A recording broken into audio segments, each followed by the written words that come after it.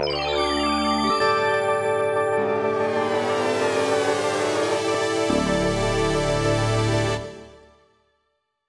here to talk about backup and recovery, as well as some techniques for protecting your customers' data and some ideas on how to sell it to your customers.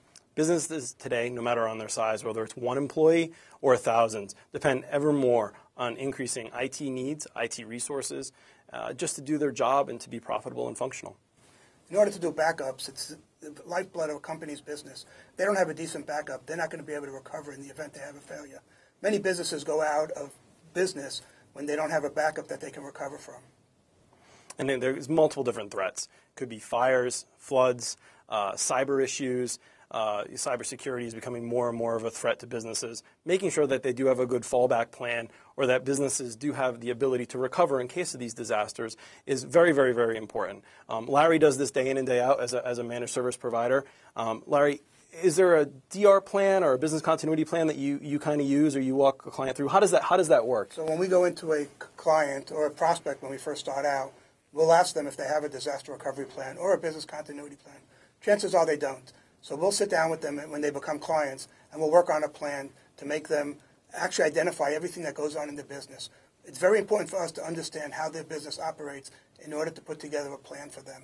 How, how long can they afford to be down for? How long can they operate in a remote site in the event that their building is unavailable? Uh, when creating a business continuity and a disaster recovery plan, there's really two terms that you can use when you talk to your client, and it's RPO, or Recovery Point Objective, and RTO, Recovery Time Objective. Recovery Point Objective is the amount of data that a client can lose without doing any serious risk to their business. Maybe they can lose an hour, maybe they can lose four hours, maybe they can lose a day of data, and they'll still be okay after the, the disaster event. The other um, term, RTO, or Recovery Time Objective, is the amount of time that it takes to recover from that disaster or that event.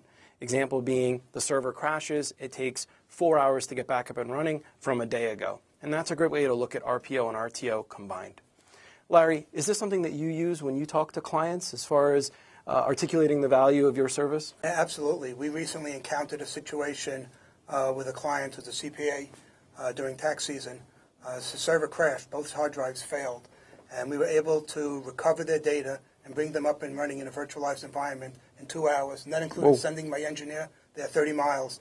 Uh, so he was thankful to us. Uh, we then recovered, we brought them back up to the production after we replaced the drives in their server.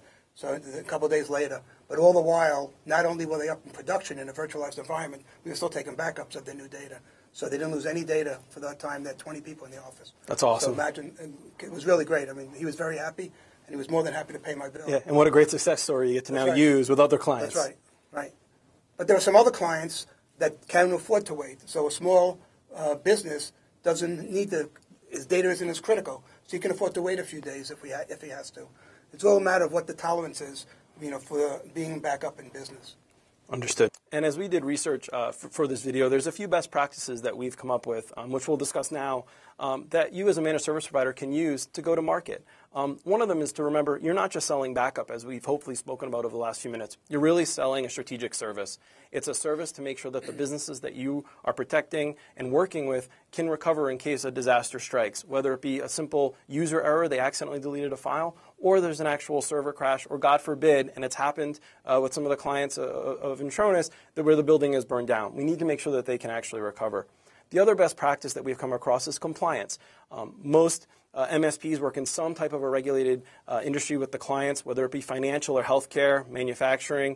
Um, they all have different compliance, whether it be for credit cards or, or, or any type of HIPAA type regulation. Um, it's a great way for you to show, hey, you, you have to do this because you need to do this to be compliant. And we've seen that as a best practice, and some MSPs have been very successful uh, leading with this compliance type specialization. Um, the other best practice that we come across is to make sure that you're bundling. Um, to basically be able to offer managed services without backup, how can you say as an MSP you're protecting the network, managing all the devices, but you're not protecting the data? It, it's almost uh, like you're doing one thing without the other. It doesn't, re- it doesn't really work. Um, and then the other thing that we've come across is it, making sure that it, it's mandatory, which kind of ties very closely to the bundling aspect. Um, because why would you want to support a client that doesn't believe in protecting their data? Um, Larry, when we were talking, you use one of these. I think it's the the bundling approach has Right. worked very, very well for you in kind of where your region of the country. Right. We won't take on a client unless we have the whole package. Uh, we provide managed services for their computers and their servers, and then we also sell them backup. And if they tell us they don't want the backup, we tell them we can't take them on as a client. There's probably a few common objections, though, that you get from businesses of all size when you're starting to pitch a disaster recovery plan or a backup plan or a strategy, right? And probably the most common one that would come to mind for me first would, Larry, it's too expensive. How do you how do you handle that objection? It's too expensive. So I knew that was going to be the first one because that's typically what we hear. Uh, we tell a business owner, uh, you can't really, you can't afford not to back up your data.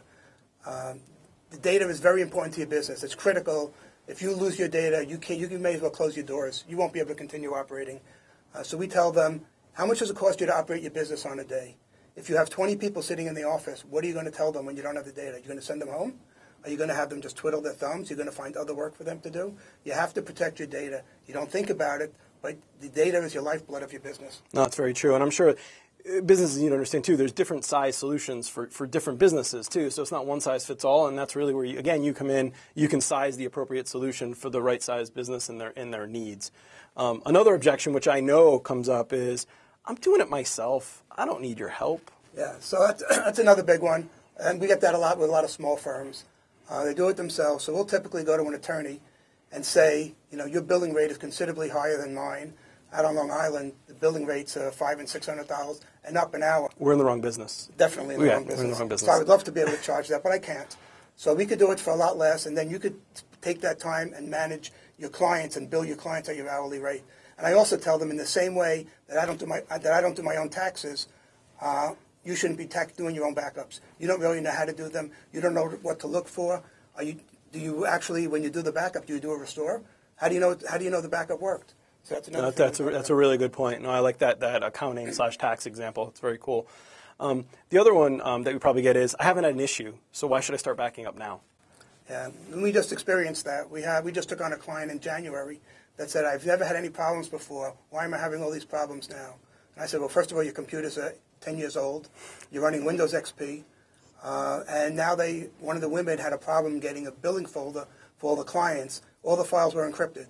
So we said, but we went to the previous provider. Said, "Do you have a backup?" And he said, "Yeah, but it's only 60 days old." Well, the problem with that is we took them on in January.